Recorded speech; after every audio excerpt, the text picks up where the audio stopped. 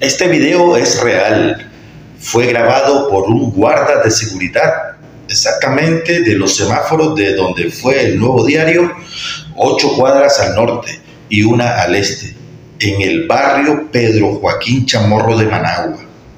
Me cuenta el periodista Nesme Rodríguez, quien habita ahí en ese sector, que hasta el momento no se ha podido recuperar de salud el guarda de seguridad quien renunció después de haber presenciado esta tenebrosa escena, ya que después de esta escena no se ha recuperado. La Llorona es un espectro de folclore hispanoamericano originario de México, que según la tradición oral es el alma en pena de una mujer quien ahogó a sus hijos, que luego arrepentida y maldecida los busca por las noches por los ríos, pueblos y ciudades.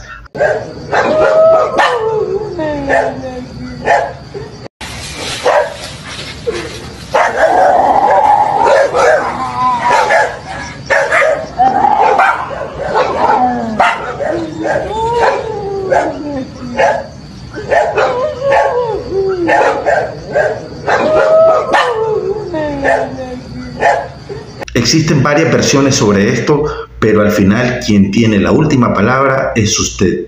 Saludos amigos y nos vemos en un próximo video.